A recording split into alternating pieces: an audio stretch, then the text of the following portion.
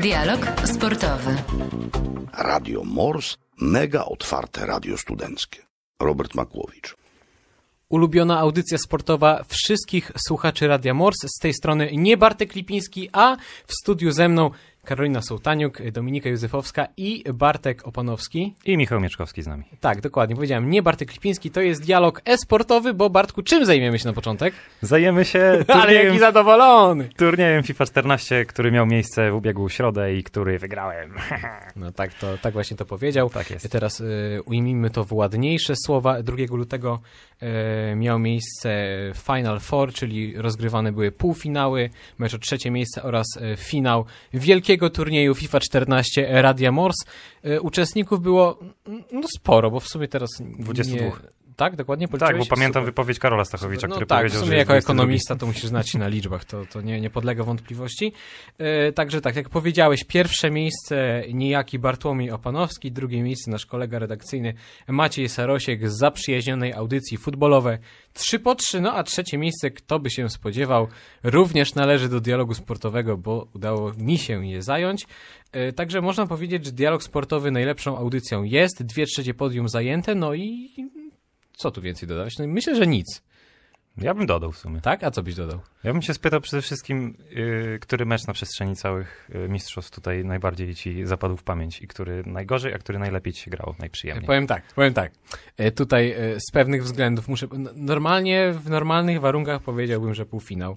Mimo tego, że Na przegrałem. taką odpowiedź liczyłem właśnie. Ale pamiętajmy, że prawdziwego mężczyznę nie poznaje się po tym, jak kończy, tylko po tym, jak zaczyna, a faza pucharowa, tak właśnie tak, y, a faza pucharowa została przeze mnie rozpoczęta meczem z niejaką Fiorentiną, Fiorentiną, z którą udało mi się wygrać 3 do 2, tak, nikt się nie przesłyszał, 3 do 2, był to bardzo ciężki mecz, prowadziłem już w tym meczu 3 do 0, Dla, niezna- dla niezaznajomych z tematem yy, reprezentował Fiorentinę nasz tutaj realizator yy, Artur, także dlatego ja to były dodatkowe emocje w meczu. pełen podziwu, bo y, prawda, trenowaliśmy dnie, noce i dni, e, przygotowując się właśnie do tego spotkania. No i no powiem tak, bilans bramkowy Fiorentiny był dość słaby w tych meczach sparingowych, jednak na mecz turniejowy drużyna włoska się spięła i to był naprawdę ciężki Ale to sam doskonale możesz potwierdzić, że mecze sparingowe tak naprawdę nie oddają całej rywalizacji w No turnieju. Ja wiem, tak. Na naszym teraz możesz powiedzieć, o czym myślisz, tak? Ym, ym, Pieję do tego, tak? Można tak powiedzieć? Piję, Piję, do, piję do tego, pieję, pieję to kogut. O, tutaj mamy, tutaj mamy jakieś problemy techniczne, ale Bartku, kontynuuj. Aż zgubiłem wątek, wiesz? Nasz, piję nasz do mecz naszych- sparingowy. Piję do meczów, na, meczów sparingowych, bowiem e, no my z Michałem tutaj, e, wiadomo, jesteśmy reprezentantami, re- reprezentantami dialogu sportowego, tak. więc dodatkowa nutka rywalizacji musi się pojawić. E, więc no, uwielbiając rywalizację, zapytaliśmy, czy możemy sobie e, prawda, rozegrać mecze sparingowe. I No drodzy i- Państwo, mecze sparingowe były rozgrywane na trzeźwo. Na trzeźwo, dokładnie. E, W gmachu tutaj budynku e, Wydziału Nauk Społecznych rozegraliśmy jeden meczyk bodajże, FIFA 14. Tak. Wynik zakończył, mecz zakończył się wynikiem 1-4, aczkolwiek bramkę strzeliłem ci przecudownej urody. No tak, Jedną. ale wiesz, w piłce nożnej liczy się ilość bramek, a nie jakość. No tak, no to to samo ci ale po półfinale ci Benzema udowodniłem. wtedy strzelił cztery bramki, ja nie narzekam absolutnie. Tak, jeszcze miały miejsce sparingi FIFA 21, tak? To przez sieć. Przez sieć, przez Tak, sieć już. Wtedy jeszcze Ale też to było jakieś przygotowanie Było, do, tak. do turnieju. Aczkolwiek ja powiem, że jednak preferuję te starsze wersje FIFA, jakoś tak, Tak. więcej w życiu w to grałem i jakoś Przecież bardziej ja jestem właśnie przekonany. strasznego farta miałem z tą FIFA 14, bo ja naprawdę za, za la, lat młodzieńczych to przegrałem setki godzin tą grę. Ja myślę, że nasz organizator też miał to na myśli, właśnie wybierając wersję Tak, my z 14, no bo Arturem się dogadaliśmy tam- tam. Gdyby chciał grać w te nowe FIFA, gdzie tam większość, y, prawda, więcej sprzętu niż talentu, jak to się mówi, prawy drążek lata, sztuczki techniczne. Czy tak się gra na boisku? Oj, nie wiem, na pewno drążek, nie. w- Prawy na, drążek to mi latał w finale. na pewno. Jakkolwiek Ale to brzmi. a właśnie, właśnie jak, jak twoje wrażenia z finału? Bo jednak wygrałeś tę edycję pierwszą, co prawda, i jak ją A to jakieś umniejszenie sukcesu mojego Nie, mówić? też wiesz. Zawsze się pamięta z pierwszych zwycięzców. No, nie powiem teraz o mundialu w 1930, mimo że mógłbym skorzystać z tej okazji, bo Bartka z nami w studiu nie ma, a na pewno by już tutaj zaczął się burzyć. Ale pierwsze edycje mają to do siebie, że ich zwycięzców się pamięta. A jeszcze możesz powiedzieć, co dostałeś w nagrodę Mam za nadzieję, zwycięstwo. mam nadzieję, że moje dokonania zostaną zapamiętane. To jeżeli chodzi o twoje pierwsze pytanie, to grało mi się wybitnie przyjemnie, powiem ci szczerze. Znaczy przyjemnie, ale z taką pozytywną nutką rywalizacji, bo na początku powiem Wygrałeś ci, ze wszystkimi. Tak, wygrałem ze wszystkimi. Wszystkie mecze wygrałeś. Wszystkie tak, mecze w Niesamowite. turnieju wygrałem. E, Na początku były obawy, wiadomo, no bo przeciwnik jednak z tej drugiej części drobinki mocno dominował tych swoich mm, przeciwników. Bo tam wyniki to czasami Hokejowe. 6, sześć z przodu się, Mhm. się zaczynały. E, Potem udało się jakoś zrelaksować. Strzeliłem pierwszą bramkę i chyba za bardzo się zrelaksowałem, bo w drugiej połowie naprawdę stres był niesamowity, bo już tutaj Maciek Sarosiek y, za- zaczynał trochę cisnąć. No i znamienna była akcja, y, kto to strzelał? Neymar. Neymar Myślę, że. Neymar. Taki Myślę, potrójny był strzał i szkoda, że nie mam w ogóle tego nagranego, bo reakcja publiczności była niesamowita podczas tej Reakcję parady. mamy nagraną. Mamy nagraną tutaj, W żeby sensie, otworzyć? nie, w sensie Nie, miałem na myśli materiał wideo jest, istnieje taki, można sobie obejrzeć, jeżeli jest się członkiem naszego Tak. radia. wszystkich y, członków Radia Morse zapraszamy do grupy Radio Morse, aby obejrzeć y, mecz. Jeżeli jeszcze tam nie jesteście, absolutnie na Facebooku. Dokładnie. I miałeś jeszcze jakieś pytanie? Drugie. E, Który mecz mi się grało najciężej? A, i o puchar. Y, super puchar ogólnie był w nagrodę. Y, taka znaczy fajna... musisz powiedzieć jaki, bo to jest replika generalnie replika, pucharu. replika pucharu Mistrzostw Świata. Taki jak normalnie piłkarze wygrywają, teraz aktualnym Dokładnie. mistrzem jest Francja. E, no To- i oni właśnie taki puchar posiadają. Troszeczkę, troszeczkę lżejszy on był, Mhm. ale wciąż niesamowite No myślę, że wrażenie gdyby robi. był cięższy, to radia by było nie stać na taki puchar. Y, To właśnie, ja rozma rozmawiałem z, ro y, z rodzicami po, po tym turnieju, no i się pochwaliłem, pochwaliłem się tym e, pucharem. I aż mama, mama spytała, kto to sponsoruje, bo to wygląda naprawdę No pokaźnie. wiesz, na zdjęciu to rzeczywiście jeszcze odpowiednie oświetlenie dodasz do tego i wygląda jak taki złoty albo pokryty złoty No, Oczywiście, to ja już przed audycją powiedziałem, to będzie, puchar będzie stał naprawdę w jednym najbardziej zaszczytnych miejsc w moim pokoju w, Jakie są, jakie są zaszczytne miejsca w polskich akademikach? E, obok, Wspólna kierow- kuchnia. obok kierownicy mojej stoi. Ale to jest naprawdę zaszczytne miejsce. Jak, kie- kierownica to jest pierwsze najważniejsze, miejsce, to gdzie leży kierownica, to jest najważniejsze miejsce ogólnie w moim pokoju w akademiku. Czyli A jak, jak obok kierownicy sprzątasz, leży... jak sprzątasz, to jest tylko taki wydzielony fragment biurka wokół kierownicy, który przecierasz tam skórzu i tak dalej, bo reszty w ogóle nie tykasz, bo szkoda ci Tak, a czasu. problematyczne dodatkowo jest to, że w naszym akademiku e, pani właścicielka akademii, czy jak to się nazywa, administratorka akademika Mhm. e, nie jest zbyt chętna do kupienia odkurzacza, więc robim, robim co możemy, aby było w miarę czysto. Nie wychodzicie, żeby się ten kurz z korytarza nie nanosił. Tak A jeszcze musimy wspomnieć o ważnej rzeczy, bo myślę, że yy, możemy uznać, że podsumowanie turnieju już za nami.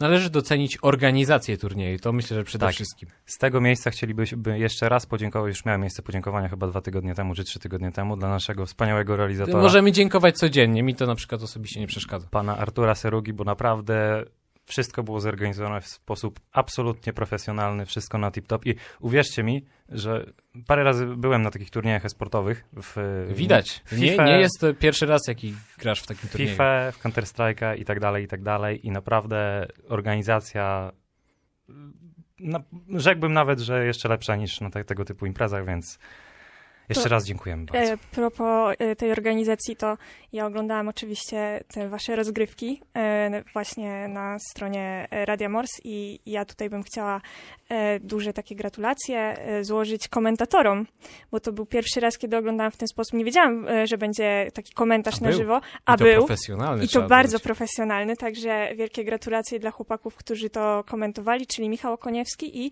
Marcin Urban. i Marcin, Marcin Urban. Urban, Także tak, gratulacje dla No i też realizacja całego podobało. zdarzenia, poza organizacją samą, no to Karol Stachowicz też na, e, Na najwyższym, Wywiady. na najwyższym dokładnie. poziomie, dokładnie. Tak, wywiady też można z Bartkiem obejrzeć, z Michałem. Ze mną Także- lepiej. No to tak, y, cóż więcej rzec. My idziemy podziękować Arturowi, a Tak was odsyłamy na krótką przerwę. Tutaj Karol Kłos, słuchacie sportowego dialogu. W pierwszym wejściu były przez chwilę małe problemy techniczne, a się okazało, że po prostu Radio Gdańsk pragnie nam sabotować audycję, ale na szczęście sytuacja została opanowana. Y, W nie końcu. Opanowski jest w O, studiu. dokładnie, no wszystko jest. Strażak, czerwony sweterek, po prostu. Dokładnie. Wszystko jest jak należy. E, To może powiemy krótko, szybko, co miało przed chwilą miejsce. Tak, złożyliśmy uroczyste podziękowania, tak jak wspomnieliśmy wcześniej, musieliśmy na audycji, musieliśmy jeszcze prywatnie złożyć podziękowania, wręczyliśmy takie małe podareczki dla naszego Tak, tak, realizatora. Tak, tak, tak. Taki zestaw, zestaw dobrego realizatora, można Zestaw powiedzieć. dobrego humoru, że tak powiem. Na pewno humoru y, nie zabraknie. Dobrze, no to przed nami podsumowanie Mistrzostw Europy w piłce ręcznej. Dwa tygodnie, y, przez dwa tygodnie audycję prowadził Bartek Lipiński, któremu wychodziło to naprawdę dobrze. Tu już jak to dziękujemy wszystkim, to jemu też możesz podziękować. Dziękuję Bartku, że zostałeś w domu i dzisiaj mnie dopuściłeś do prowadzenia audycji. Y, No ale podsumowanie y, Euro. Znamy nowego mistrza Europy. Mistrzem Europy została Szwecja. W finale wygrała z Hiszpanią po rzucie karnym w ostatniej dosłownie sekundzie. Właściwie to już był po meczu ten rzut karny, można powiedzieć. Ale 27 do 26 y, rzut karny rzucony przez Niklasa Ekberga w sumie, który no nie miał jechać na ten turniej, a został dowołany do kadry Szwecji tylko dlatego, że zostały tam odnotowane przypadki zakażenia pewnej choroby. E, Tak, i dużo takich zaskakujących, powiedzmy, e, tutaj graczy ze, ze Szwecji, którzy bardzo dobrze sobie poradzili. Ja szczerze mówiąc, tak jak mówiłam przed, e, przed mistrzostwami, jak tam sobie rozmawialiśmy, nie liczyłam za bardzo e, na Szwedów i e, no, liczyłam na Duńczyków, którzy przegrali w półfinale ze Szwecją, z którą no, też nie wiem, czy tak do końca powinni się spotkać, ale to może jeszcze do tego później wrócimy. No właśnie, czy nie przekombinowali wcześniej No grając właśnie. z Francją? No właśnie, to jest bardzo dobre pytanie. Jak, przekombinowali czy nie? Przekombinowali. Przekombin- Ale przynajmniej o trzecie miejsce się udało już wygrać. No tak, ale okupione to też E, zostało. Niestety. Swoją drogą, czy wiesz, kto ma dzisiaj urodziny? Ja nie mam. Nie, ty nie masz. Natomiast ma y, Gitzel, o którym właśnie Który ma... mówimy, tak. który zerwał więzadła krzyżowe y, tylne w kolanie i niestety ma przerwę, no tak około pół roku, bo ta kontuzja wiąże się z tak długą przerwą. Ale wracając do naszego finału. Oczywiście ja kibicowałam Hiszpanom. Oczywiście. Oczywiście. Tak próbuję sobie teraz przeanalizować, czy w kadrze Hiszpanów jest jakiś y, katalończyk. Myślę, że nie ma, bo wtedy by E, się nie kibicowała. Nie, no właśnie są. A Alejż no Gomez? Taki słodko... Dobra, no racja, racja. Tak, no racja. właśnie, ale... Alejż Gomez to najlepszy e, skrzydłowy turnieju, o tym jeszcze powiemy później, ale kontynuując temat finału. E, Tak, kontynuując temat finału, e, właśnie w tym finale bardzo mi się podobał Alejż Gomez, mimo że jest e, katalończykiem, których ja tak nie do końca trawię, szczerze mówiąc. Natomiast, natomiast bardzo, bardzo dobry mecz. Generalnie Hiszpania zaprezentowała się z bardzo dobrej strony, no i ten karny w tej ostatniej no, sekundzie tak naprawdę, czy już jak mówisz po, po czasie gry, e, było mi szkoda Hiszpanów, bo na nich też w sumie nikt nie, nie stawiał tak jakoś bardzo. Jednak w czasie trwania tego turnieju e, moglibyśmy wyróżnić co najmniej kilka drużyn, po których bardziej spodziewalibyśmy, że oni są w stanie dojść do finału, typu no właśnie Francja czy Dania. Natomiast dla mnie to Hiszpania troszeczkę niespodziewanie się w tym finale znalazła, ale gdyby nie ten karny w ostatnich minutach, byłaby dogrywka, no i nie wiadomo. Nie Co by się wiadomo, właśnie, ale też trzeba powiedzieć, że Hiszpania trochę na własne życzenie y, przegrała to spotkanie, bo ostatnie akcje meczu y, i tutaj takim chyba y, grabarzem Hiszpanii był John Canellas, bo jednak no jego akcje zadecydowały o tym, że no, Hiszpania nie zdobyła bramki i nie wypracowała przewagi nad Szwecją w tych ostatnich minutach. To tak samo w półfinale, w ostatnim rzucie, jak Francja grała ze, ze Szwecją, też ostatni rzut Fabregasa i e, no ja już Ale widziałam ja nie, ja nie powiem, że się, ja nie powiem, że się nie cieszę, jednak y, w rywalizacji pary Fabregas-Paliczka wolę tego drugiego. Fabregas jakoś tak nigdy nie darzyłem go zbytnią sympatią. No ja też nie, bo gra w Barcelonie. No ja dlatego, że jednak swego czasu wygryzł Kamila Syprzaka z kadry Barcelony. O, to też jest A, bardzo dobry za, powód, a żeby nie uważam, że y, umiejętnościami wcale to nie było takie wprost bezpośrednie, że A w jednak... piłce kopanej też był Fabregas, który grał w Barcelonie. Dobra, dobra, ty już nie przesadzaj, pogadaliśmy 10 minut o e-sporcie związaną z kopaną i Nie, ja to wystarczyć. powiedziałam, doceń to. Nie, ja to powiedziałam. Doceniam. Dobrze, y, mecz... Dobrze, robimy transfer idę do futbolowego 3 po 3. Koniec Ale, owa- I przynajmniej wtedy będą y, trzy osoby, tak jak No, prawie w nazwie Zawsze to jakieś więc pozytywy. Dokładnie. Dobra, robimy transfer. Nie mam mnie tu od Mam nadzieję, że gotówkowy, bo jednak ta audycja musi, musi przynosić dochody, a na, na razie działamy non-profit. Y, Jeszcze co do finału powiedziałaś o niespodziankach ze strony Szwecji, y, to ja dam tutaj Bergendala, gość, y, no rewelacja turnieju, wybrany najlepszym defensorem całej imprezy. Nie, ja, bym- ja bym nie stawiał, absolutnie bym na niego nie stawiał, że słuchajcie, w Szwecji będzie taki gość, na obrocie będzie grał i on y, będzie jednym z ważniejszych punktów tej reprezentacji. No bo jeżeli byśmy analizowali Szwecję przed turniejem, to no Gottfriedson, Który został MVP tak, go, też. ale to też zasłużenie, tutaj nie ma dyskusji. W ogóle odnośnie wyboru najlepszej siódemki, to co sądzisz o tym, że ona jest wybierana przed, y, przed meczami ostatniego dnia turnieju? Ja w ogóle tego nie rozumiem i w ogóle ja się tak zastanawiam, szczerze mówiąc, może ty mi to wyjaśnisz, co w tej siódemce robi Luke Staines? Nie, ja bym się bardziej spytał o Wujowicia, bo Czarnogóra, no, rewelacja turnieju, dobrze grali, e, ale, ale najlepszy lewoskrzydłowy... No, nie, dobra, słuchaj, jeżeli byśmy analizowali, że o, tutaj najlepsze zagrania turnieju, no to ten faktycznie ta bramka, jak zrobił przewrót w tył po przyjęciu piłki, no to to by było naprawdę imponujące, ale tak, no to nie wiem, to ja bym patrzył na przykład na tabelę strzelców, a tam teraz właśnie, te- teraz trudno, nie? Teraz mi tak powiedzieć, No ale, ale na pewno, na pewno bym w się... ogóle nie ma w tej, w tej siódemce. Ale najlepszy strzelec, no to prawe rozegranie, ale to Gitzel moim zdaniem zasłużenie. To, to prawe... Ale nie jest to troszeczkę dziwne, że najlepszy strzelec turnieju i, i on się nie znajduje w najlepszej siódemce? No dla mnie troszeczkę zaskoczenie. No ale Arek Mory to trzeci też nie był w najlepszej. Ale my odpadliśmy na wcześniejszej fazie rozgrywek. Oj, tam Czarn- Czarnogóra też odpadła. Holandia też odpadła. No Holandia, no ale wiesz, No właśnie to, to, dlatego cię pytam, co wszędzie, Stein- wszędzie Steins jest y, polityka. No to dobrze, to kto byłby na środku rozegrania w najlepszej siódemce w takim razie? Nie wiem, ale nie on. To może Kaniejas. Nie no, tak, MVP Gottfriedson, no to dlaczego nie Gottfriedson też? No, no na pewno nie Holender, no nie rozumiem tego kompletnie. Nawet jak, e, przyznam szczerze, ja nie oglądałam tych e, e, meczów Holendrów, natomiast śledziłam mniej więcej, co się działo w tych meczach.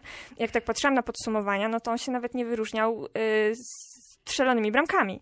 Więc to jest dla mnie, no ja wiem, że to nie zawsze chodzi o to, żeby zdobywać No. bramki, liczy się gra i tak dalej, ja to rozumiem. Dobra zabawa. Tak. Y, natomiast, no, on mi tam jakoś strasznie nie pasuje w tej siódemce. Już wymyśliłem. Y, Jak dla mnie najlepszy lewoskrzydłowy to ja bym dał Hampusa Wanę. Tak. zamiast y, w, tak, Czarnogórca, bo jednak y, i dużo strzelonych bramek i zwycięska drużyna to chyba jednak y, zobowiązuje. Dobrze, a teraz y, Polaków, bo Polacy ostatecznie 12 miejsce w turnieju. Myślę, że zagrali no tak jak no, w miarę swojego potencjału, bo jednak to nie, nie oczekiwaliśmy, że oni tam będą walczyć z najlepszymi. Oczywiście też y, plany pokrzyżowo wiadomo co, bo jednak osłabienia przed ważnymi meczami e, zrobiły swoje. Maciej Gębala, który wrócił dopiero na sam koniec turnieju. E, To o meczach z Norwegią i Szwecją to nie będziemy mówić. Możemy tylko powiedzieć, że o, przegraliśmy ze zwycięzcą całego turnieju. No ale to też nie jest nic dziwnego, no. Nie, no tak, oczywiście. Więc nie rozumiem Ale oburzenia. Drugie, mie- drugie miejsce. Hiszpania, my z Hiszpanią, web w web. Właśnie. Czy Hiszpania w ogóle powinna zagrać w e, czołowej czwórce? Przecież gdyby oni przegrali z tak, Polską... gdyby nie Corrales, Dokładnie. A, gdybyśmy lepiej rzucali. bo ten mecz, on wcale nie był... On, powiedzmy tak, on był wyrównany. I Mhm. gdyby tam Polska wygrała... Nawet miała, remis. Remis by już kończył przygody Hiszpanów w tym Więc, turnieju. więc ja zapytam, czy Hiszpanie powinni wysłać Polakom kilka skrzynek sangrii? Ja myślę, że powinni. Corrales powinien wysłać. Za to, że tak najpierw na pewno dobitkę rzucał Czuwara, a pierwszej teraz, nie pamiętam, pierwszy rzut. Chyba Moryto. Nie pamiętam. Też, to, to jest. To już to E, było dawno. To był mecz z Hiszpanią, ale jeszcze mecz z Rosją. Mecz z Rosją, który e, no wiem jak się zakończył. Kosorotow, piękna bramka rzucona w jakże prawidłowy sposób. E, Cztery czy pięć kroków tam było? dużo tam było kroków. Dużo było, nie? Tak. I nie rozumiałam tej decyzji e, z jednej strony, ale z drugiej strony, czy to była piłka do przepuszczenia. No ale Mateusz Zembrzycki grał bardzo dobre spotkanie. Ale ja to wiem. Ja nie mam nic absolutnie do, do jego gry. Masz rację, on grał fantastycznie, ale czy to była piłka do przepuszczenia? No Ta nie, jedna. ale to też ilu miał zawodników przed sobą. Oni też powinni ale z jednak jakiej zablokować. odległości to No z było? połowy boiska. No I też rzut po koźle. Właśnie. Dobrze, to jeszcze szybkie podsumowanie. Mówiliśmy o najlepszej siódemce, więc tak, najlepszym zawodnikiem e, całego turnieju Jim Gottfriedson. E, w bramce chyba się nie podejmę przeczytania nazwiska islandzkiego bramkarza, bo jednak e, mieszkańcy Islandii mają dosyć trudne te nazwiska. Najlepszym obrońcą Bergendal, potem mamy Steinsa, Gitsela, Hansena, twojego ulubionego Dominiko. Tak. Potem jeszcze jest Gomesz, Gola na kole. Gola to tego, jego też bym wywalił w ogóle z tej siódemki. To, to, On też mi tu w ogóle nie pasuje. no Dlaczego dokładnie. nie mieć? No bo musiał być. Tam. Szefem HF-u jest Austriak. Aha, A dobrze. to tam historia pokazała, że jednak między tymi krajami to niedaleko do siebie jest. A to jakiś tam szukasz spisków? Powiązań? Nie, spisków. Ale to, to jest cecha charakterystyczna tej audycji. A myślałam, że twoja. Pośrednio może być No. też. Dobrze. Nie ma, nie ma ku temu żadnych przeciwwskazań. To jeszcze powiemy, że e, jeżeli jeszcze dialog sportowy będzie trwał w następnym roku, to będziemy podsumowywać Mistrzostwa Świata w Szwecji i w Polsce. Teraz już wiemy, że na pewno na tych mistrzostwach zagrają Szwecja, Hiszpania, Dania, Francja oraz Nor- Norwegia, czyli top 5 zespołów tego euro. E, A co? A my po przerwie porozmawiamy o Igrzyskach Olimpijskich, a także o tym, co się dzieje na parkietach koszykarskich. Paweł Zatorski, słuchajcie sportowego dialogu. Dawid Kubacki, brązowym medalistą Igrzysk Olimpijskich, zimowych Igrzysk Olimpijskich w Pekinie w 2022 roku. A zwycięzcą Ryoyu Kobayashi bez niespodzianek. Absolutnie. nie? No chyba, że będziemy liczyć Fetnera jako niespodziankę. Ja bym policzyła Fetnera jako sensację. U, Tak, ale znaczy, nie wylądował tym razem na jednej narcie. Ale mimo wszystko sensacja. Znaczy, jeśli będziemy patrzeć po tych ostatnich wynikach, no to nie, ale czy ktoś przed sezonem, czy nawet po rozpoczęciu sezonu powiedziałby, że Manuel Fettner w tym wieku jest w stanie zdobyć e, srebrny medal Igrzysk Olimpijskich? Nie wydaje mi się. Także ja bym tutaj jednak e, Fettnera upatrywała jako wielką sensację. No i Kubackiego też jako bardzo dużą niespodziankę, poro- patrząc na to, jak się Polacy w tym sezonie prezentują. Ja tutaj muszę powiedzieć, muszę teraz przywołać i znowu pozdrowić naszego drugiego kolegę Bartka, ponieważ on w trakcie drugiej serii powiedział, że a, przypomnijcie sobie, Dawid Kubacki atakował kiedyś z 27 miejsca, wtedy Rioju też prowadził. Tylko wtedy Żyła był w tym konkursie na 27 No tak, no tak. A tak, a jednak y, Kubacki po pierwszej serii był ósmy, zaatakował, skończył trzeci. Y, No a po pierwszej serii trzeci był Kamil Stoch, który jednak niestety skończył y, konkurs na miejscu dopiero szóstym. Ale to i tak jest bardzo dobry konkurs, znaczy nie tylko ten jeden. e, Generalnie igrzyska w wykonaniu e, Kamila, bo musimy też wspomnieć o tym e, konkursie mixtów, do którego przejdziemy. I on też tam oddał dwa bardzo równe, Tak, były bardzo ładne dwa skoki. skoki dobre i były też skoki niedobre. Słyszeliście teorię, dlaczego teraz skoki wychodziły?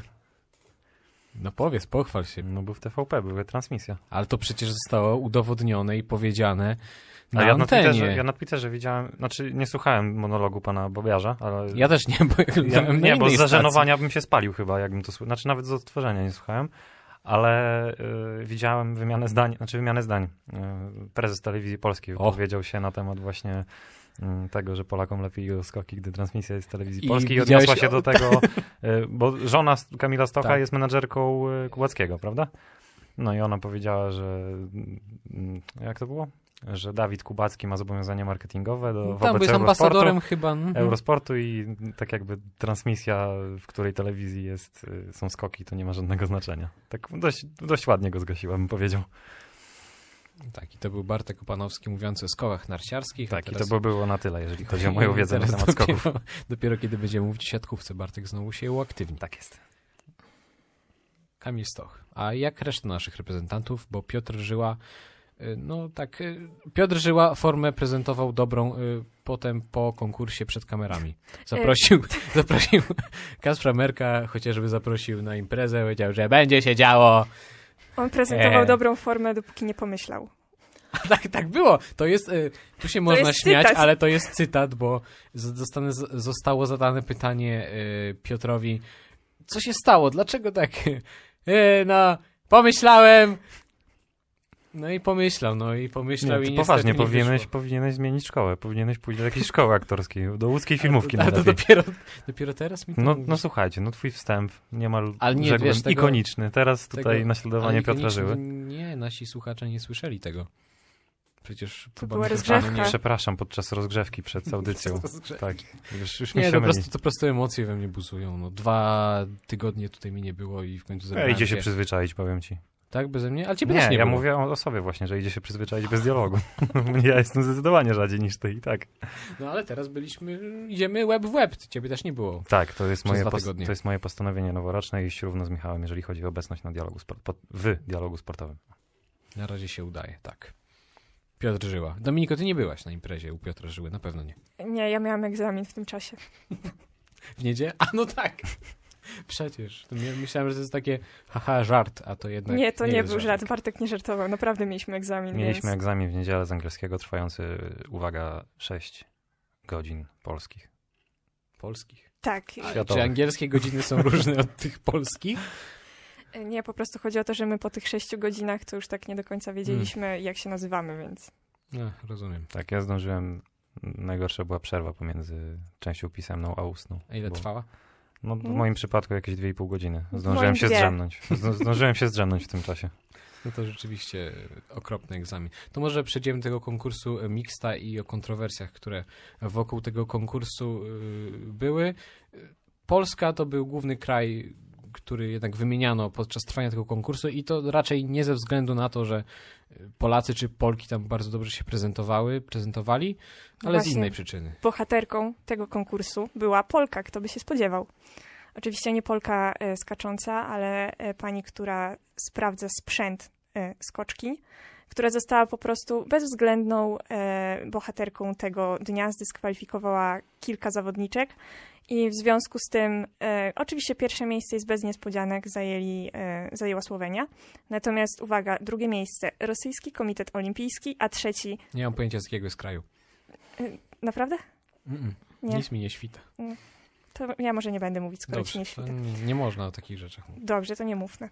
E, a trzecie miejsce Kanada. I to mnie akurat niesamowicie Boli? cieszy. A, myślałem. Nie, no bo wiesz, tu możemy powiedzieć, To że... kolejny raz ile powinniśmy razy- pozdrowić Bartka, Tak, e, trzeci raz. Do trzech razy sztuka. tak, który na naszej grupie dialogowej stwierdził, że e, po jednym medalu olimpijskim... Ciekawostka. tak, taka ciekawostka. Mają już Mackenzie Boyd-Klaus, Matthew Soukup, a żadnego nie ma Stefan Kraft. Pozdrawiamy Bartka w tym momencie. Jednak to jest kopalnia wiedzy, jeśli chodzi o skoki narciarskie. Naprawdę. Błyskotliwość na najwyższym poziomie. Tak, i w związku z tymi e, dyskwalifikacjami mamy tak niesamowicie e, no, dziwne wyniki. Nikt nie, nie spodziewał się tego, że jest w stanie medal zdobyć Rosja. Kanada, no to już w ogóle. A E, że Polska nie zdobyła medalu, co to za słabe igrzyska są. no a spodziewaliśmy się medalu? Ja się Może dlatego, że nasze skoczkinie prawie w ogóle nie odbijają się od tej belki i ledwo, W progu. No właśnie. Ale to tym bardziej trzeba docenić taką e, reprezentację jak na przykład E, nie, Kanada. Polski. Nie, nie to chciałam powiedzieć. Chciałam powiedzieć taką reprezentację jak Kanada, bo po nich się nikt tego nie spodziewał, a oni, e, jak to przeczytałam taki ładny e, wpis na e, Twitterze, dzisiaj Dominik Formela napisał, że e, dostali mm, muzykę i, i do niej zatańczyli, czy coś w tym stylu. Naród wychowany na lodzie, można powiedzieć. Kanada.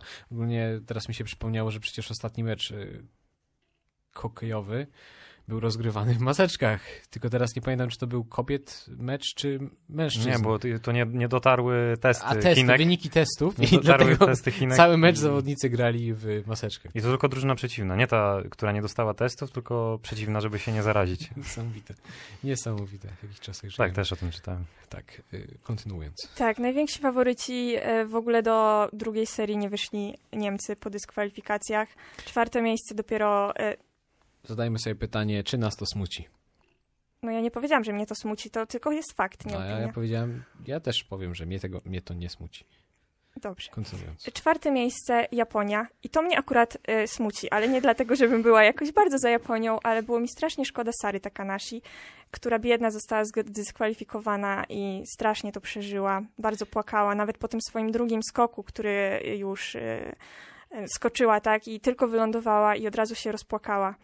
I no było mi ich strasznie szkoda. Mimo, że bardzo się cieszyłam, że e, Kanada zdobyła te trzecie miejsce, bo no to taki, taka fajna historia. To było mi strasznie szkoda e, Sary Takanashi. Z drugiej strony, nie wiem, czy widzieliście zdjęcia, jak na belce prezentowali się zawodnicy w tych właśnie ci zdyskwalifikowani, którzy... Zawodniczki. Tak, tak, tak. Zawodniczki, które one się prezentowały na belce tak, że jednak te kombinezony to no tak kilka rozmiarów trochę jednak były za duże. Tak, widziałam, widziałam te zdjęcia i tu tym bardziej jakby nikt nie mówi, że to jest jakiś spisek Polki, czy że ona niesprawiedliwie powiedzmy... e, No, prawie się udało Polskę wciągnąć na podium. Prawie, Prawie robi różnicę. E, Szóste miejsce jednak zajęliśmy, bo chyba jeszcze tego nie powiedzieliśmy nawet, Mm. Że szóste miejsce zajęła Polska. Tu medalu nie było, więc w naszym kraju traktowane jest to jako porażkę, jednak my powinniśmy patrzeć na to trochę inaczej, bo chociażby ósme miejsce w slalomie gigancie Maryny Gąsienicy Daniel, to myślę, że my jako sportowi eksperci tutaj w Radiu Mors i nie tylko w Radiu Mors, bo i na cały kraj, możemy uznać jako y, sukces. No, ale też również jej, e, jej zjazd, jej przejazd zakończył się też e, łzami. Tak jak właśnie powiedziałaś przed chwilą, wydaje mi się, że bardzo dużo tutaj łez e, w Pekinie zostało wylanych. No Maryna zajęła ósme miejsce, w drugim przejeździe była czwarta, więc to naprawdę jest wspaniały wynik.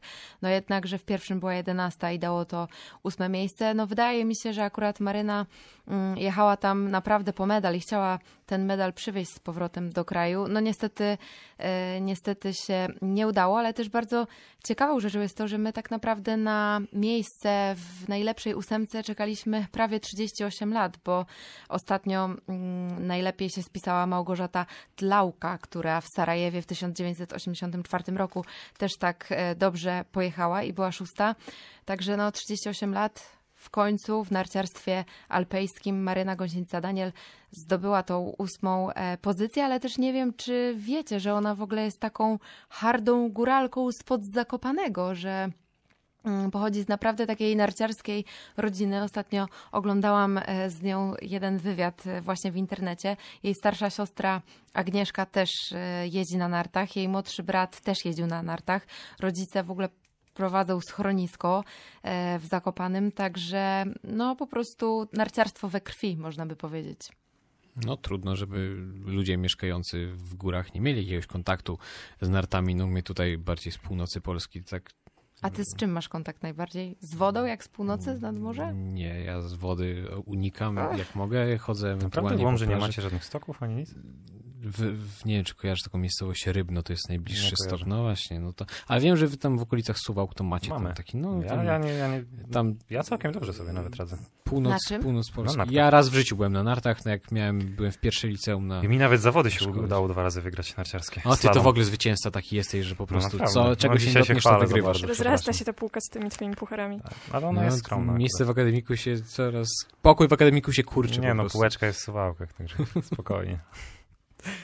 Pokój w akademiku jest za mały na taką ilość Na pucharów. dwie osoby i to jeszcze każdy jakby miał Już nie hejtujcie mnie, no. Chcę nie, się pochwalić. Ale przynajmniej tutaj... internet w akademiku jest A mam bardzo... pytanie, ty na przykład wjeżdżałeś na Orczyku, czy wchodziłeś piechotą? Na początku piechotą na Oślej Łączce, a potem Orczykiem. Ja też mam takie wspomnienia z Górki Czterech Wiatrów w Mrągowie, gdzie ja zawsze musiałam wchodzić piechotą z nartami. No najgorsze to było jeszcze w tych butach narciarskich. Mm. Najgorsze to było zdejmowanie tych butów, bo pamiętam, że jak się jeszcze człowiek jodełką nauczył podchodzić pod tą górę, to w sumie nie było tak źle, ale jeżeli najpierw zdjąć te narty, założyć te narty na bark, kijki jeszcze w drugą rękę, wejść na górę, jak się miało 6 lat czy tam 7, to to było naprawdę wyzwanie. Także, no, ale i tak pamiętam traumatyczną historię z mojego życia, jak mnie wujek, pamiętam, uczył, jeździł, uczył jeździć. Przepraszam za taki off-topic, ale już jak gadamy o tych ja nartach, no, no to powiem. Powiedz tam, podziel się nami I miałem właśnie, miałem właśnie chyba z 7 lat i wujek ze mną, mój chrzestny ojciec je, jechał i tak wiecie, jak się uczy dziecko jeździć, no to tak za moimi plecami on mnie trzymał. Znaczy przed sobą mnie, mnie tak jakby amortyzował. I tak w połowie górki pamiętam, że całym ciałem na mnie runął, się, się wywrócił na mnie. Ała. Czułem się tak połamany, na szczęście nic się nie stało, ale no tam 80-kilowy mężczyzna, jak spadnie na dziecko siedmioletnie, no to, to jest dość odczuwalne. No boli, boli. boli. To może y, to teraz przejdziemy do short tracku, bo, taki, bo tam też taki jest miły. dużo bólu. tak, tak tam no nie ma tam bólu. wujków, którzy na ciebie padają, ale też może być niebezpiecznie. Tak, ale organizatorzy robią wszystko, żeby nasza Natalia Maliszewska padła w tym Pekinie. E, też nie wiem, czy znacie do końca tą historię, jak to było. Ona była raz pozytywna, raz negatywna i w dzień startu na jej koronnej konkurencji 5 lutego rano, właściwie to w piątek wieczorem powiedziano jej, że może wystartować, a mm, po przyjeździe tak naprawdę do wioski olimpijskiej z piątku na sobotę okazało się, że jest nadal pozytywna i musiała z powrotem wrócić na izolację, e, więc generalnie dramaty sportowe się po prostu przeżywa nasza, nasza e, łyżwiarka. E, no i generalnie z niedzieli na poniedziałek okazało się, że ona jednak może wyjść z tej E, izolacji i o trzeciej nad ranem mm, jeden z organizatorów przyszedł do niej do pokoju, wyciągnął ją z tej izolacji. Ona musiała się spakować w walizkę w ogóle o trzeciej nad ranem. Pojechała z powrotem do wioski olimpijskiej i miało być już wszystko w porządku, jednak organizatorzy powiedzieli, że niestety nie może się przebierać z innymi łyżwiarkami w szatni i zamknęli ją w takim magazynku. No, na Igrzyskach Olimpijskich w Pekinie Natalia Maliszewska przebierała się w magazynku, bo jest cały czas musi być odizolowana od reszty sportowców, bo jest dla nich zagrożeniem. Także No to tak jak w polskich podstałówkach. tak, Wiesz, jak dokładnie. nie No, było szatni dla którejś płci, to niektórzy się w przebierali. magazynku albo na, na korytarzu. No, wszyscy zadają sobie pytanie tak naprawdę, czy ktoś może to wytłumaczyć, że ona jest negatywna, pozytywna, czy ktoś po prostu nie maczał w tym, e, w tym palców, bo to naprawdę jest bardzo, bardzo dziwne. No ona wydaje mi się, że jest tak zła, że może jeszcze coś powalczyć. E, Jutro e, kwalifikacje do, mm, do wyścigu na 1000 metrów, jutro też kwalifikacje sztafety. W sztafecie mm, na 3000 będzie biegła jej siostra. Jechała, jechała, to chyba jest poprawny czasownik. No jazda na Jazda łyżwach. na- No. jechała. Nie, ja nie lubię jazdy na łyżwach, więc się nie wypowiadam. Na pewno się na łyżwach nie pływa, o tak. Tak, no w każdym Po razie. części też w sumie, bo No to jest w sumie teraz, teraz fizyka, tak? On ci. Nie, no dobrze. W każdym razie będzie jej siostra Patrycja Maliszewska i e, Kamila Stormowska, która w ogóle jest e, notabene chyba z Elbląga i reprezentuje na co dzień barwy stoczniowca w Gdańsku. I do tego również Natalia Mazur, także no zobaczymy, zobaczymy jak to będzie. No ja mam nadzieję, że ta Maliszewska wróci z medalem, bo po prostu ja sobie nie mogę wyobrazić, co ta biedna dziewczyna czuła przez cały tydzień w izolacji na igrzyskach w Pekinie. To jeszcze przy okazji możemy powiedzieć może o Zbigniewie Brudce, który nie wystartuje w biegu na e, 1500 metrów, bo niestety lekka kontuzja mięśnia przywodziciela, z tego co pamiętam, i stwierdził, że e, ze względu na ryzyko pogłębienia tego urazu nie wystartuje w swoim, na swoim koronnym dystansie.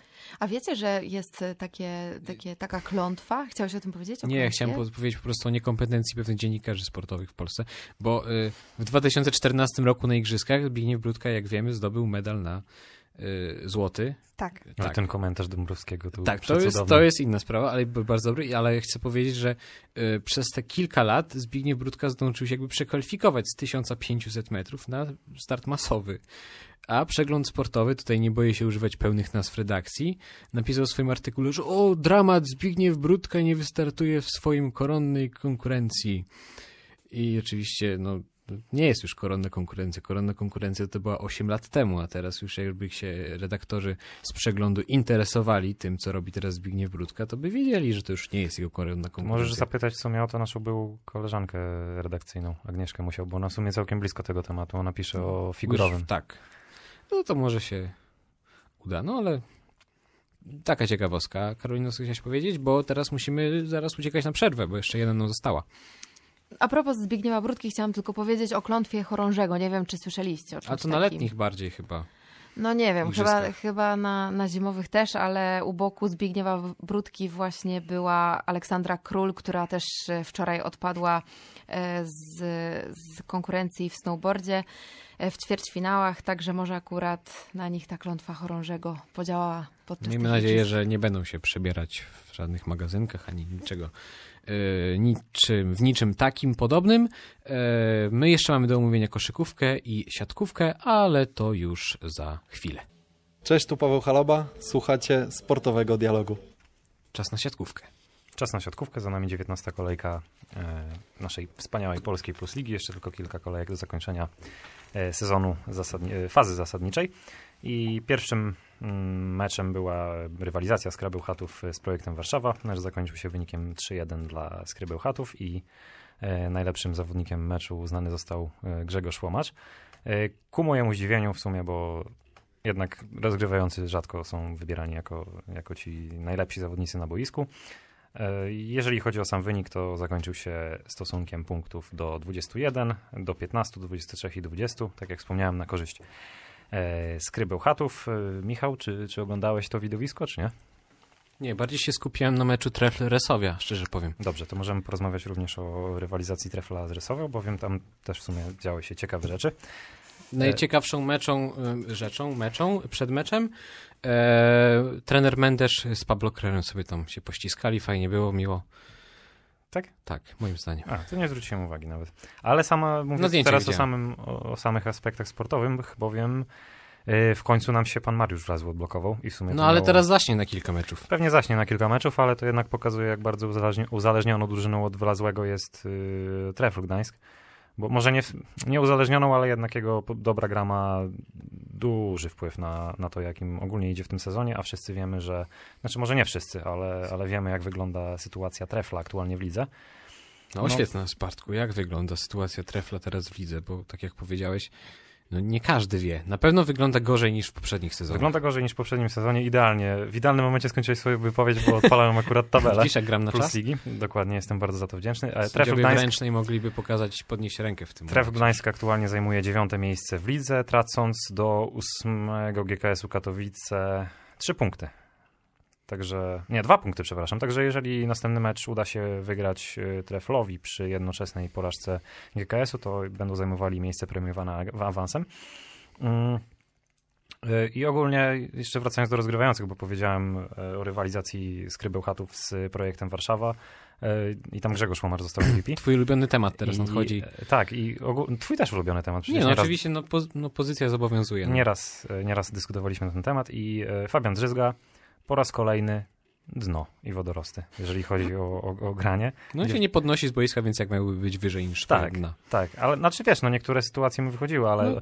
nie odbijać się od boiska to nie odbijał się Urosz Kobacewicz, który nie jest nominalnym rozgrywającym, A i grał, tak rozgrywa naprawdę... a grał, na, grał na pozycji nominalnego rozgrywającego przez chorobę nominal, nominalnych rozgrywających. Czyli powiem tak, Urosz Kowaczewicz zagrał tak, jak rozgrywa y, pierwszy rozgrywający reprezentacji Polski. Tak jest. I ogólnie wspaniałe jest, znaczy wspaniałe, no niekoniecznie wspaniałe, bo to będzie, to się odbije na naszej grze, na, repre, na grze reprezentacji, reprezentacji Polski w tym sezonie, o ile zostanie Fabian Drzyzga powołany, nawet jako rezerwowy. Ale on powiedział, No to- że się boi, że może nie zostać powołany. No i dobrze, niech się boi. Po, po, popieram w 100%, powinien się bać. E, no chamsko to zabrzmiało, ale no w sumie, No, no nie, ale to, Fabian Drzyzga na pewno nas nie słucha, więc Ale- spokojnie.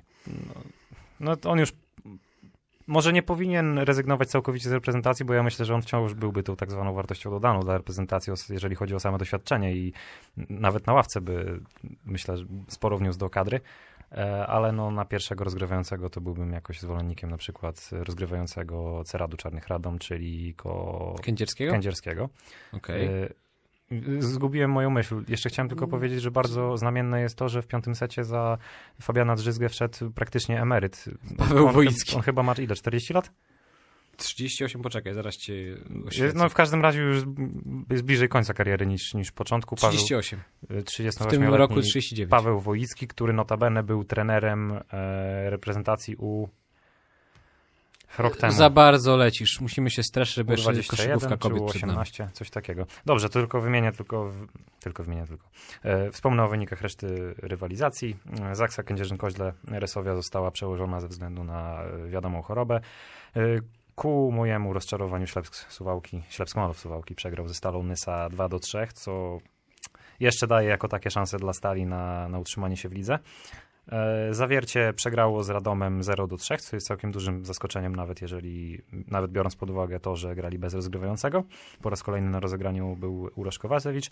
E, Katowice wygrały 3 do 2 z Lubinem i Olsztyn wygrał z Lublinem 3 do 0. Dziękuję, bo już jestem Defalco. Defalco zawodnik meczu, ponad 20 punktów. Y, Jeszcze y, mi mega zaimponował y, Paweł Rusin z Ceradu, Czarnych Radom. Po raz kolejny MVP. Y, Mówiłem ci, przed, mówiłem ci Tak. przed y, audycją, że on strasznie stylem gry przypomina mi Michała Ruciaka z, za najlepszych czasów, jak grał w reprezentacji Polski na przyjęciu. Tak. Tak, ja się zgadzam w pełni. A jeszcze z takich ważnych rzeczy siatkarskich to powiedzmy, że wróbelki ćwierkają, że Andrea Anastazji ma wrócić do Gdańska od następnego sezonu. Michał Winiarski ma powędrować do Zawiercia. No a już tu wspomniany kilkukrotnie, dwu czy trzykrotnie Urosz Kowaczewicz przedłużył do 2024 roku kontrakt z zespołem Zawiercia. A teraz czas na... Pożegnania z europejskimi parkietami. To Karolina teraz sobie pozwoli y, powiedzieć parę słów o koszykówce kobiet. Jak to ma w zwyczaju? Kobiet, kobiet. dobrze. Tak, ale też Tak. e, w sumie nie tylko VBW Arka Gdynia pożegnała się z europejskimi parkietami. W środę, w zeszłą środę mm, przegrały 12 mecz e, w Eurolidze i zakończyły te rozgrywki z bilansem właśnie 12 do 2. No ale też w sobotę mm, tak naprawdę Trefl Sopot przegrał w kolejnych rozgrywkach e, FIBY. E, Jutro, co prawda, zagrają jeszcze jedno spotkanie w Rumunii, ale też nie mają już szansy na awans. Także No, dwa zespoły tutaj trójmiejskie, które walczyły o coś, e, niestety odpadły, no ale możemy się skupić na tym, co się dzieje w Polsce. E, VB Warka w sobotę 5 lutego podjęła siostrzany klub GTK Gdynie w derbach Gdyni. No można byłoby powiedzieć, że to był pogrom, ponieważ wygrały 88 do 38. Tak, więc e, Wow. 40 punktów różnicy mm, to naprawdę można powiedzieć, że to jest pogrom. Mm, No ale też nie oszukujmy się, że GTK Gdynia teraz e, troszeczkę jest słabsza z tego względu, że główna rozgrywająca Julka Bazan przeszła do VBW, czyli do tego lepszego e, klubu. Jedna z lepszych też koszykarek zachorowała na te derby, więc grały naprawdę w dużym osłabieniu. No a VBW RK miejmy nadzieję, że idzie po swoje. Po ostatniej porażce na Suzuki Pucharze Polski, gdzie przegrały w finale z BC Polkowice, no musiały trochę mm, no, nabrać tego takiego pozytywnego nastawienia, ponieważ w sobotę zmierzą się z arcytrudnym przeciwnikiem, z AZS-em e, Lublin, który też teraz, e, no można powiedzieć, króluje w tabeli, także ta wygrana na pewno dała im trochę więcej e, motywacji. No jeżeli chodzi o pierwszą ligę, to również e, w niedzielę odbył się mecz e, pierwszej ligi mm, w Gdyni, gdzie Gdynianki wygrały z Olsztyniankami. I też jest e, tutaj bardzo ciekawie, ponieważ w GTK w pierwszej lidze grają głównie zawodniczki, które są młodsze i one będą też rywalizowały w finale Mistrzostw Polski U19. Nie wiem, czy mówimy tutaj o takich młodzieżowych e, rozgrywkach, ale w Gdańsku e, na obiektach sportowej Politechniki od jutra zaczynają się finały właśnie Mistrzostw Polski U19 w koszykówce kobiet. E, Także tutaj też zobaczymy, co się będzie działo. W ogóle odnośnie obiektów sportowych, to nie wiem, czy wiecie, ale bodajże w ostatnie wakacje została podpisana umowa, że Uniwersytet Gdański ma też się wzbogacić o podobną infrastrukturę sportową. Jeżeli chodzi o infrastrukturę sportową i Gdańsk, to nie wiem, czy słyszeliście, ale na Zaspie był taki fajny balon e, pokrywający boisko i on niestety przez ostatnie wichury się zerwał. Strasznie dużo dzisiaj off-topików, ale a propos to jest infrastruktury interesujące. sportowej. Tu W tej audycji Na dzisiaj Meissnera. bardzo się... O, Tak, tak, tak, tak. Lechia Mój kolega, mój kolega mieszka właśnie na Meissnera. Y, Generalnie muszę teraz tu pozwolić sobie na znowu na troszeczkę prywaty, bo miałem w zeszłym tygodniu egzamin ze statystyki i y, przedmiot pr- ten prowadził profesor Meissner i mój kolega właśnie pisał ten egzamin, jako że był online, on pisał przedmiot profesora Meissnera na ulicy Meissnera. Także no, taki tam ciekawostki. Dzisiaj dialog sportowy pod taki- e, znakiem Zawsze prywat. dialog sportowy uczy i bawi, tu nie ma w ogóle Tak o czym rozmawiać. Absolutnie. E, koszykówka. No w ogóle, Karolina, zaskoczyłaś mnie, że tak mało tej koszykówki dzisiaj było. Mało? Ja się spodziewałem, zawsze było, Tak, naprawdę. ja, ja, no, też, ja też się, ja się spieszyłem z tym z tą siatkówką, bo myślałem, że tutaj Karolina mocno dużo informacji poda. A... No to jeszcze mogę dodać No to informację. czekamy na to, bo to... Jeżeli macie wolną sobotę o godzinie 14, A, no to słuchaj, Bartek, może porozmawiamy o siatkówce. nie, na Gdyńskim e, Centrum Sportu, na hali gier Gdyńskiego Centrum Sportu, tak to jest poprawnie. GTK zmierzy się- Mhm, Wiesz co, jako... Źle, nie, Nie, w hali. No tak, no tak, no okej, tak, w hali, w hali. Chyba, że na dachu grają, to nie wiem, ale... Nie, no masz może i rację, tak, to jest mój błąd. Tak, w hali gier Gdyńskiego Centrum Sportu GTK Gdynia podejmie SKK Polonie Warszawa o godzinie 14. To będzie 19. kolejka Energa Basket Ligi Kobiet. No i GTK tutaj walczy o to, żeby żeby nie zakończyć tych rozgrywek Energa Basket Ligi na ostatnim miejscu, bo dopiero mają jedną wygraną. I są aktualnie na ostatnim miejscu. Tak, są A czy 13. liga funkcjonuje tak, że nie ma spadków? W sensie jakby funkcjonuje tak, że one Bo- są mm, jakby dodatkowo w tym sezonie jako 13 drużyna i, i niestety jeżeli utrzymają się na tej 13 pozycji, to w przyszłym roku nie będzie GTK Gdyni w Ekstraklasie. Myślałem, że w ogóle nie będzie GTK Gdyni. Że rozpad klubu. Gdynia to potęga, Gdynia będzie zawsze i GTK Gdynia też, Michale. No, no ale Gdynia na przykład jako miasto nie było zawsze. No, Nawet tak, 100 to lat prawda. nie ma. A są takie miejscowości w Polsce, które parę lat temu na przykład obchodziły 400-lecie, 400-lecie albo nawet więcej istnienia. No, taki No tak, ale GTK Gdynia akurat ma tyle drużyn młodzieżowych i pierwszoligowych, że Mogą sobie do wyboru, tak? do O, wyboru, tutaj do koloru. Teraz tą sekcję damy, ty, wy sobie grajcie w najwyższej lidze. No, Myślę, że wiele klubów bardzo by się cieszyło z takiej sytuacji. Y, to był dialog sportowy. Michał Mieczkowski, Karolina Sołtaniuk, Dominika Józefowska i Bartek Opanowski. Zapraszamy na naszego Facebooka, Instagrama i zapraszamy również na następny dialog, także we wtorek, także o godzinie 18. Na Spotify też.